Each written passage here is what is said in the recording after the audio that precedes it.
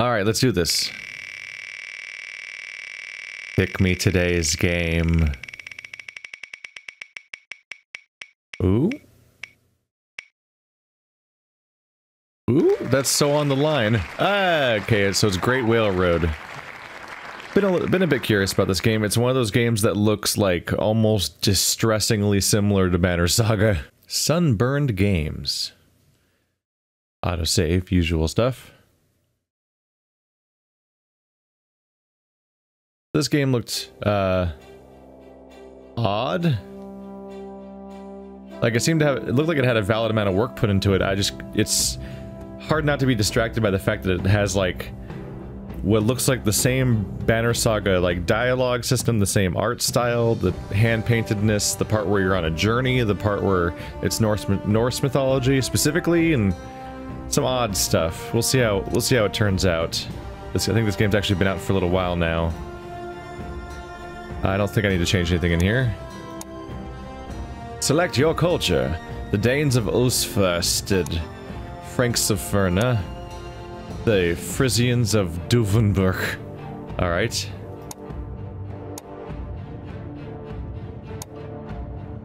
Let's just let's just go with one. Let's go. We'll be the Franks of Ferna. The monastery of Ferna lies on the western border of Austrarica, the eastern kingdom of the Franks. A former Roman villa, it encompasses not only fertile farmland, but also large vineyards and a village. Ferna is not a safe haven, though. Thieves can be found plenty on the Whale Road and on land. I might have been wrong to say mythology earlier, but I think it, I thought I think the game's supposed to be Norse-ish. At least the art that ad that advertises the game looks like it might be like Vikings on boats. We'll see.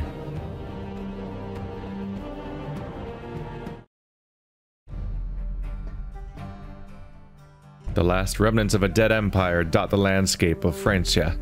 A Roman statesman wrote the empire, from a kingdom of gold to no one of rust and iron, to one of rust and iron. It, it looks like it would be voiced, but it's not. The Romans ruled this land no longer, but they left behind laws and customs that have reshaped your people. Among them is Christianity, a new religion that follows one they call the Son of Man. King brought Christianity to the Frankish kingdom more than a century ago, but the conversion from the old ways has been slow and reluctant. I'm afraid to dwell on the pronunciation because the timing, the time limit of the, the dialogue. Your home, the monastery of Ferna, has seen its share of raids by warriors who clutch relics of Wodan and Thunar. Not every member of your religious community has learned to wield a, a spear or a sword in self-defense. Oh, nearly every, I think is what I said. Whoops.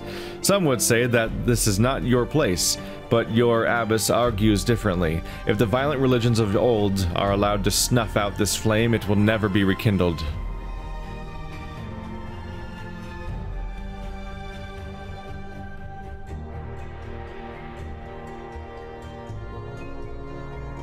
I always rush a bit when when I when I get hit with uh, stuff to read aloud that I know is going to disappear after a certain amount of seconds pass. I'm like, ah, ah, go, go, go. What do we have here?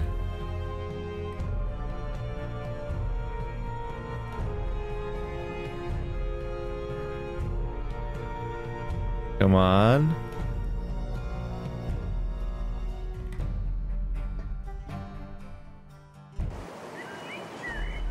Year 1, in Ferna, Rich Vines.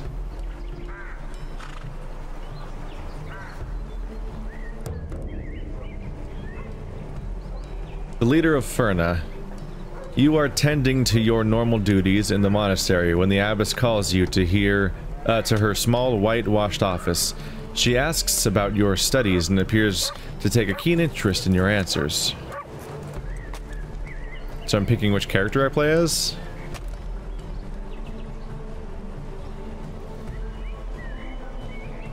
You are Gundram, an inspiring, an aspiring monk and lauded scholar. Your wit is matched only by your sharp temper. Sure, let's go with that. Your mother was a nun in this monastery who died giving birth to you. Though your mother broke her vows, the monks took pity on you and raised you as a man of God. You know no other way of life. Now, you await the day when you can take your final vows and officially enter the Brotherhood. The abbess praised your, your scholarship and uh, hints that she has plans for you come summer. The old abbess asks you to be her eyes and ears. She cannot walk the grounds as she used to anymore, and she wants to know which part of the monastery should be the center of the community's efforts this year. So... This is, uh, I assume library represents knowledge, vineyards represent e economy, and fields and orchards re recommend, uh, represent our own food resources, basically. Like local resources versus knowledge and technology versus things that we can trade with others. Let's try trade, the vineyards. Yep, plus silver. Parts of the vineyards are overgrown, and not with the good kind of herbs, but, but weeds. The abbess agrees with you that wine is not only important for the Eucharist, the morale of the community, but also for a source of income. I think it was Eucharist. As you leave the monastery proper, you are hailed from across the square. Wuldudrada waves you over to her side. She must have broken her fast at the gruel monk the small town uh, tavern outside the monastery. You can smell the tavern's regular fare of onion and smoked eel gruel on her breath. I have not seen you at a weapons practice lately. You can't always hide behind the others and, and me when the Saxons sail down the coast to raid, she says, a reproach in her voice but a slight smile on her face.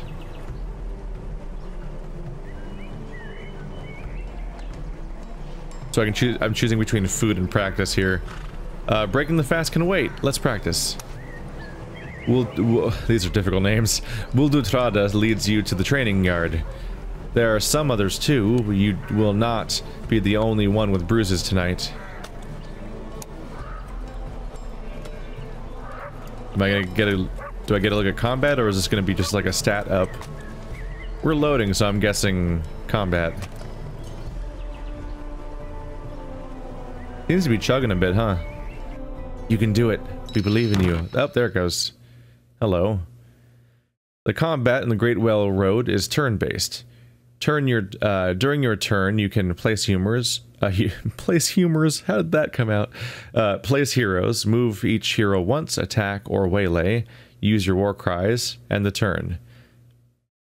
War cries are these dots apparently. Round number. Okay. Hmm.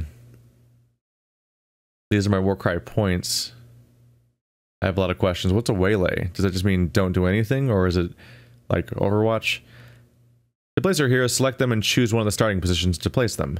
Each hero has a round number for when they can be added to the battle. Like Hearthstone almost? Like mana? The hero's loyalty to you defines uh, when you can add them. Weapons have different ranges, requiring you to be within distance.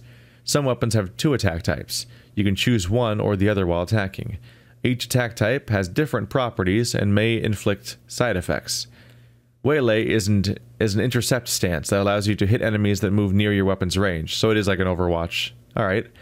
It, it will always use the primary attack type of your weapon, but has a, a minus 25% hit chance penalty. Any hit you take will interrupt this stance. There are three attack types. Slash.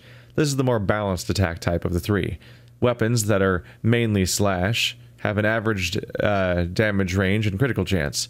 Additionally, it has a it gains 20% hit chance against enemies with broken shield. Blunt.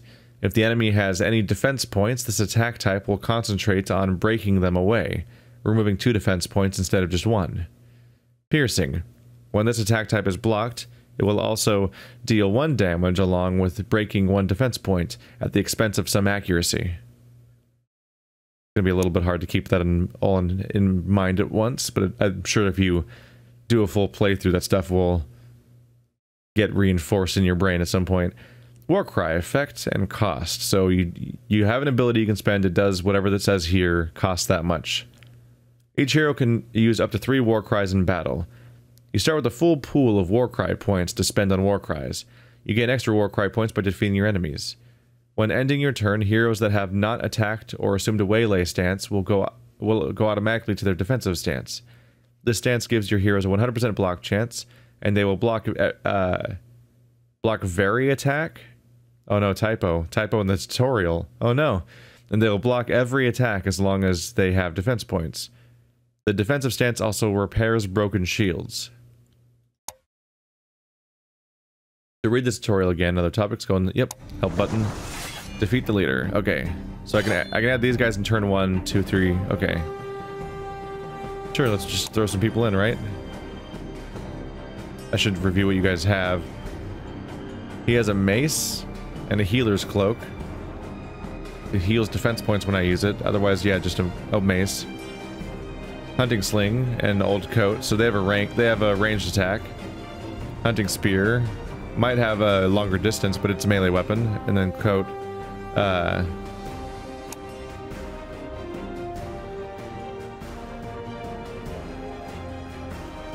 maybe put you in the back. And you around here. How do I access my... I have waylay and attack. Attack waylay. Oh, this is the war cry. Target ally gets plus 15 accuracy for three turns. Plus 10 accuracy on self for three turns. Plus 25 accuracy on one, for one turn on self. Okay. That's expensive too. Your attack range is quite long. Especially for waylay purposes. As expected, your attack range is 2, and yours is 1. So normal melee attack with normal range, that they have an attack range of 2 because they're a spear user, and they have an attack range of significantly, further because they use a sling. I'm just going to start moving forward, I think.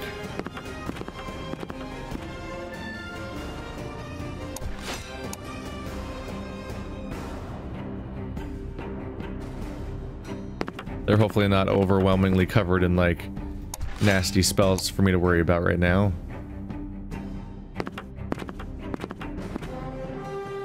Let's see how this goes. Spells was the wrong thing to say. I meant to say ranged attacks. None of them look ranged, but she doesn't look particularly ranged either. But I can more overtly see melee weapons in these characters.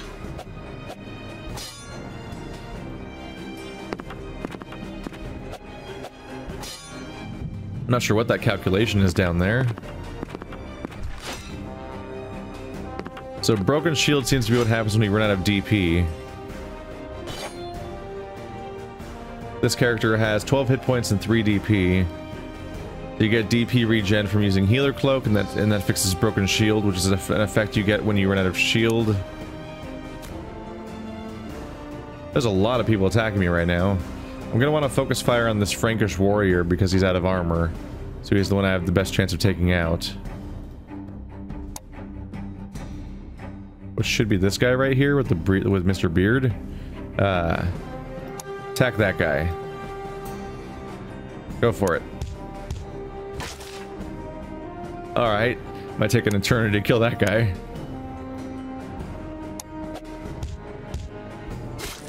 Ooh, okay. There's some damage.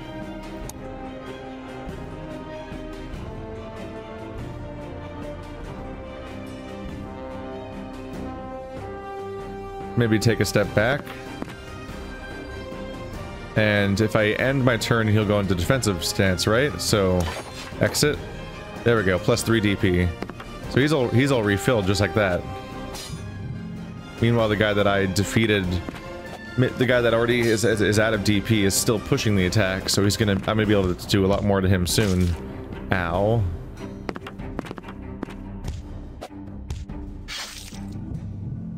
Another broken shield character. Now two of my characters have broken shield. Ah. We're in trouble here. Four hit points left. You're able to do five last time, weren't you? Two to five damage, 15% crit. Ah. Not the best chance Not the best chance across the board, really. I need more damage than that, hopefully. One to two damage. So you're clearly the high damage character. But you are you you can boost your own accuracy. You can boost your own accuracy. You can target only an ally with accuracy, which is kind of a bummer.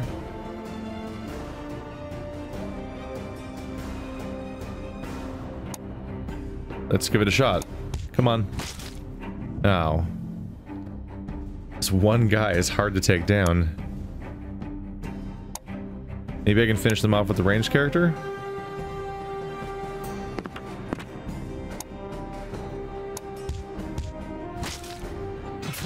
Alright, one guy down. Cool.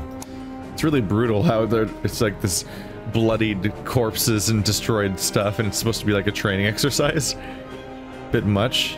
I'm gonna have you go defensive because you need to you need regen like desperately, right? Yeah. Plus 5 DP, damn. I'm still trying to interpret a lot of the information, I'm not super clear on how some of it works, and I'm still getting kind of confused.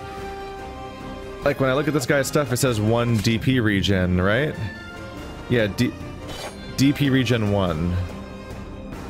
Maybe that means that if I if I don't use... Ah. Maybe you get your full defense if you block. Like you get your full defense if you if you take defensive stance, but if you don't take defensive stance, maybe get one DP regen no matter what. Maybe, because there's there's DP regen as a stat, but it's just one. Whereas when I block, I mean when I go defensive, I get way more than one back.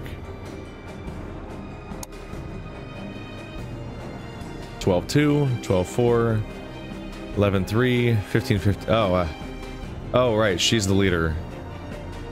She's a big problematic danger for me. Let's try to outmaneuver them a little bit. I hope. Give myself some accuracy.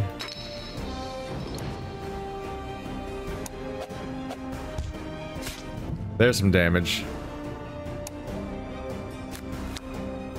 I'd start using this stuff or I'm going to be in trouble.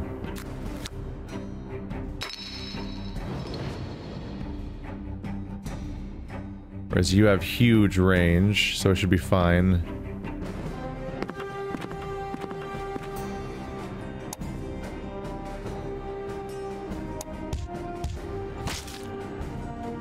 There we go. I'm going for accuracy bonuses because I just need I think you do a, uh, I think you do you do an individual accuracy check for each of those individual attacks it's doing for me. So when you have higher accuracy, you do more damage overall by a significant margin, I think. But also, I'm kind of losing, so I'm just going to desperately use up my stuff anyway. Just to hope for the best to an extent. And that still wasn't enough. I'm a little shocked that focus firing with your whole team isn't enough to kill people. I forgot to summon my new people. Oh, god damn it. Oh, I'm gonna get comments about that. Alright. Yeah, that's my bad. Shit. I forgot to summon new people completely. It's such a weird mechanic that I'm not used to existing in games. So I, I need to adapt to that. Get used to this new mechanic where you can summon characters after the fight's already been going on. Whoops. That makes more sense about why I'm so outnumbered. I was supposed to be summoning these people in the second and third turns. We're on to round four? Shit, yeah.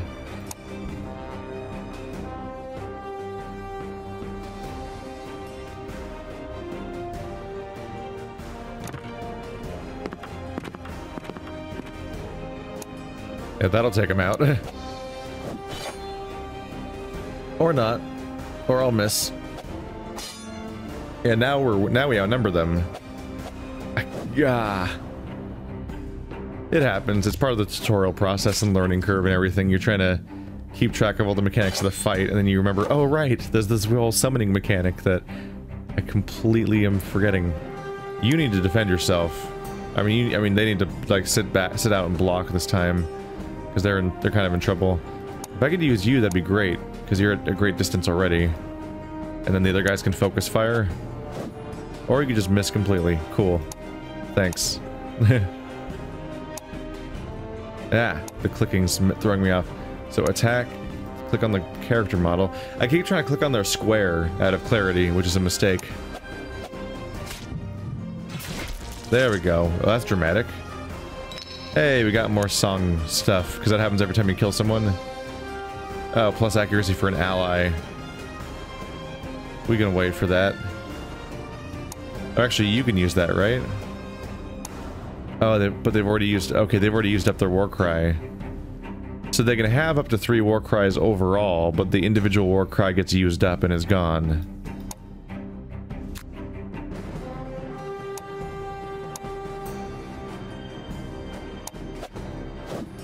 Alright, good job. Probably should have had him defend himself, honestly.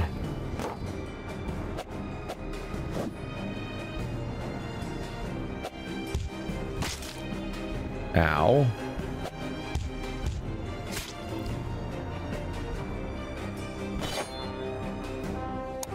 Let's have you pump up this guy's accuracy, the damage dealer.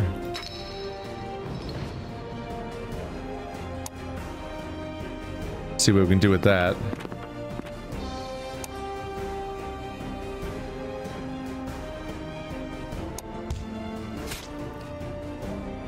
Oh, so Pierce can hurt their health through their shield. That's a difference worth noting. They probably might have mentioned that in the previous screen, but you know, learning curves. That guy's gonna have a bad day. There's an interesting balance in this game where you can wail on someone so hard and just try when you're just trying to take out their shield and then they could rest for one turn and kind of bring it back.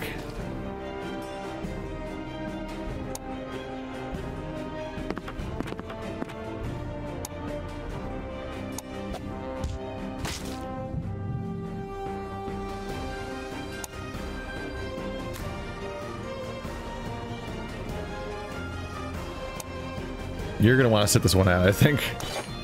There we go. I've got some idea of how to make myself regen now. A little responsible with that. Did they already? They already took out a shield again, didn't he? I'm not, I only have to defeat uh, Trada. technically. My objective is to kill the leader. So maybe I should be focusing on them, but I mean, I'm this close to taking out this warrior. Let's commit to that, I think.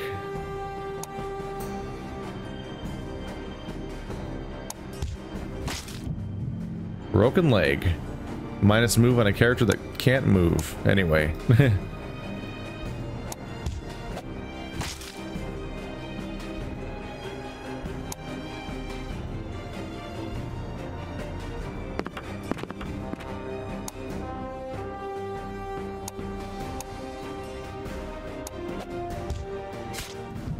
I'm doing so many one damage attacks and misses. It's like playing some like early D&D or something. Uh, crap. Have I lost track of who can move still? Oh no, I think the, the wood under their feet indicates that.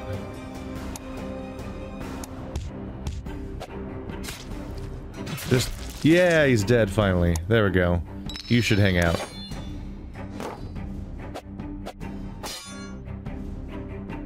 I think we're gonna go after the leader next. At this point I outnumbered them, so whoever they attack can just wait can just rest that turn, and whoever they don't attack can hang out. Self-accuracy.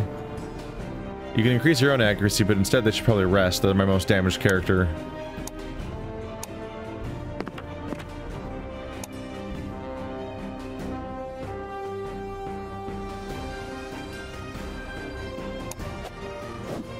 Well, so much for that. We tried.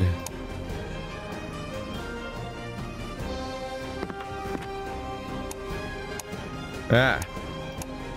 There we go. The appeal of piercing is that I can just skip their armor altogether, but I'm not having that kind of luck.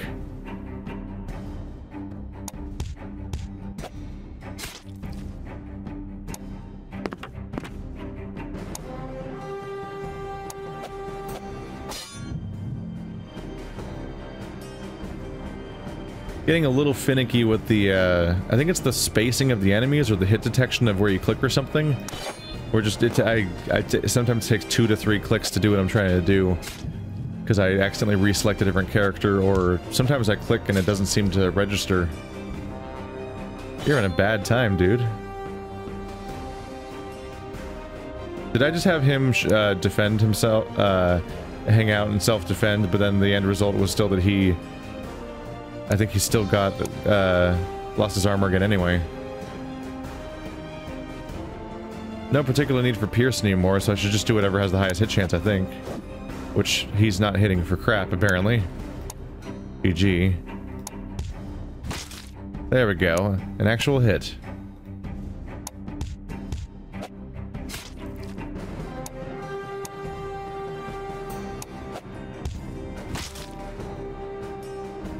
They're down to six hit points, so you won't be able to kill them anyway. You might as well just rest because of your decreased armor. There you go. They're gonna have trouble catching up with the damage I'm doing. Plus 10 accurate. Oh, right. They, just used their first song. Ooh. I'm a little scared. I'm gonna run away. I don't know if he counts as my leader. Oh, he has a crown and everything. I bet that if he dies, then, then I lose. I need to be more careful. Ah, stop that. Come on, we're almost there.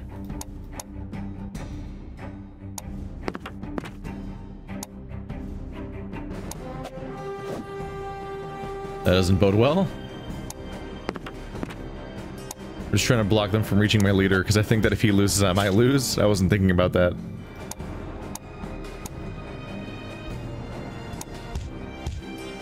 There we go. Flawless victory. Your enemies lie on the ground. Oh, it went off on its own. It's fine. Defeated five enemies in ten rounds. Whoop.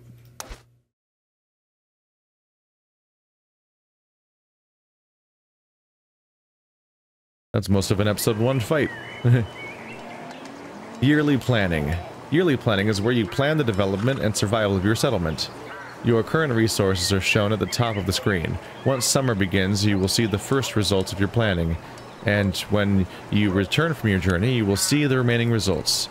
Assign population to plan your production focus. The first three areas provide food for your people. Farming does not produce any food during winter only during summer, while hunting and husbandry provide food during the whole year. Sometimes it will be convenient to split your efforts among these three areas, as the winter weather may diminish their returns. Warfare raises your defense against raids, and boosts your hero's evolution. Warfare power accumulated during winter will increase the renown obtained by the heroes that you, will, that you travel with, while the amounts accumulated during summer is how the heroes left at home will gain is how much the heroes left at home will gain from the total renown obtained. Craftsmanship produces multiple items of different value that are useful for trading. Diplomacy increases the benefits from trading and gives you a better picture of the current year's market and supplies you with goods you can't produce. Tradition increases your people's happiness making them perform better at their jobs and keeping them healthy and active.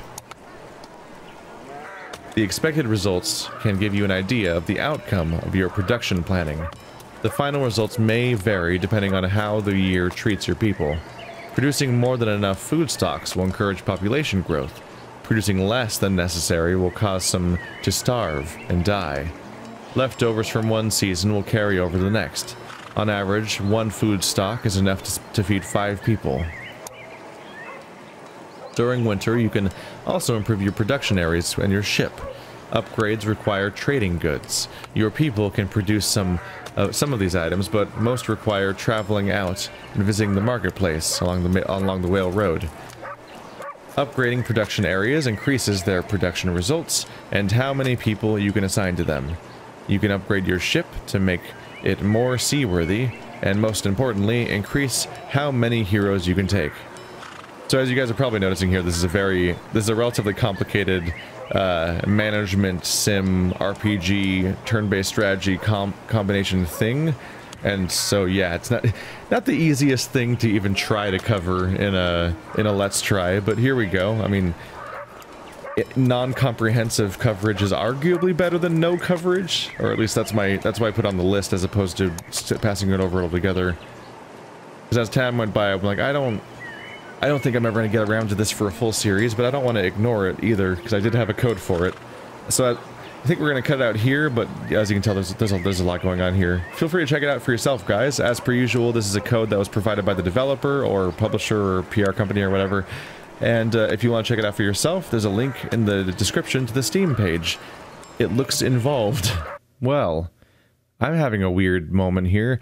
I've been looking into the Great Whale Road because I wanted to show you. I was going to go to guys to the Steam page and show you guys like, you know, the screenshots of the game that are used for the promo artwork and everything because I wanted to show a little bit more since you know I can't show everything in, in only half an hour there's no Steam page for this game as far as I can tell. Like there used to be. So I was gonna say like I'll I'll link to the Steam page in the description and I'll I'll give you guys the link that the twit like the like the, I can find like old tweets on on here that are like look the Great Whale Road is on sale guys and stuff like that and like there's a link but when I open that link it takes me to the front page of Steam which is weird it might be gone like clearly this it was on Steam because you can see this stuff. Like these types of screenshots are here. But you can't physically I, I, the store page doesn't load for this game, which is really odd. I don't know what to make of that. So I may have just done a let's try for a game that uh, is not purchasable. There's what ship combat looks like, I guess, right there.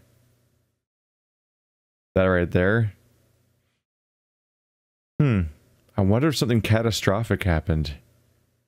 I don't know. This is eerie. Well, one way or another, this was the Great Whale Road.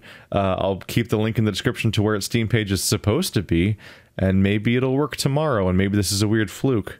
Or maybe this game's gone, and this was a weird half an hour preview of a game that you can't play. I don't know the web their as far as I can tell, their official website is. Uh, did I lose it? Yeah, this no, no, that's not it. That's that's rock, rock paper shotgun.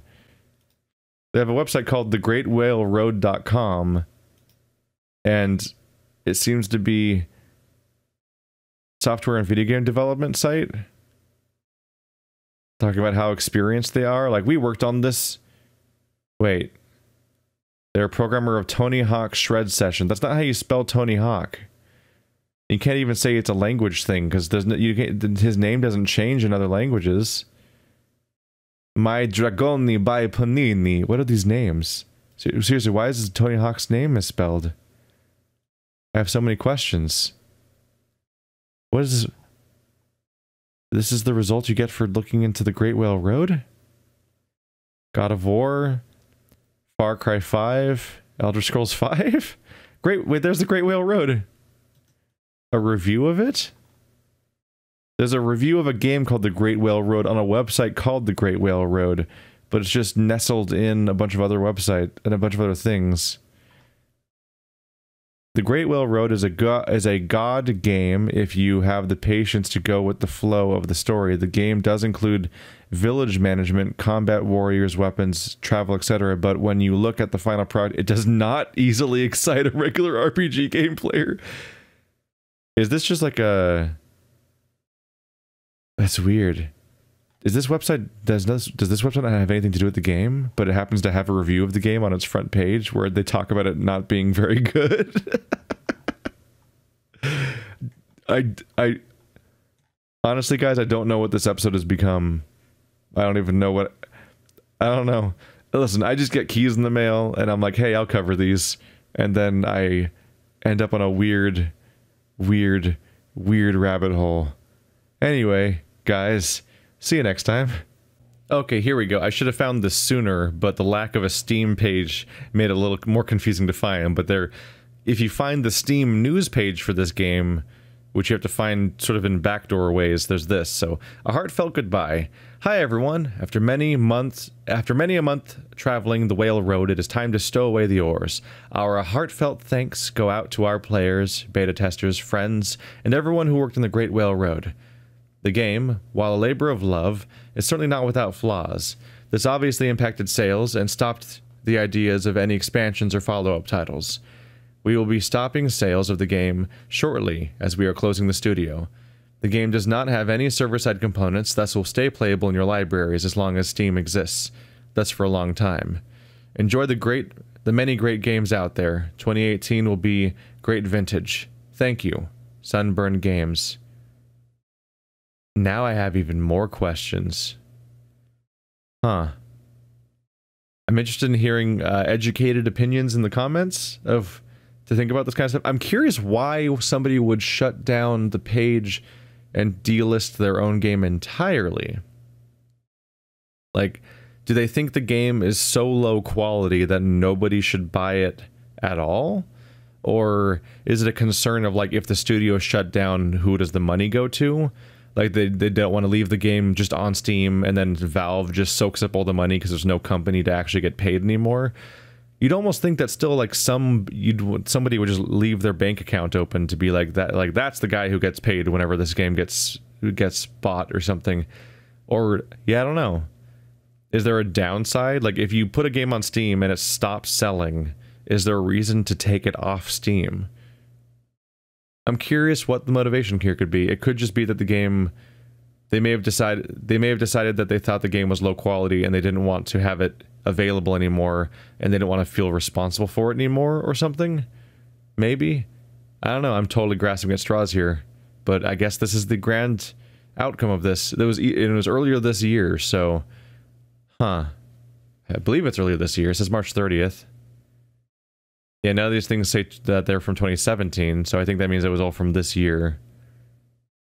Huh. Well, there it goes. I turns out I'm playing a game that uh ceased to exist 4 months ago, but is available on Steam, but only if you already own it. What a rare situation. Okay. On some level, it defeats the purpose of doing Let's Tries. On the other hand, it's like almost archival of like I have this weird museum this this almost like a weird museum exhibit of a dead game. Oh well, see you guys next time.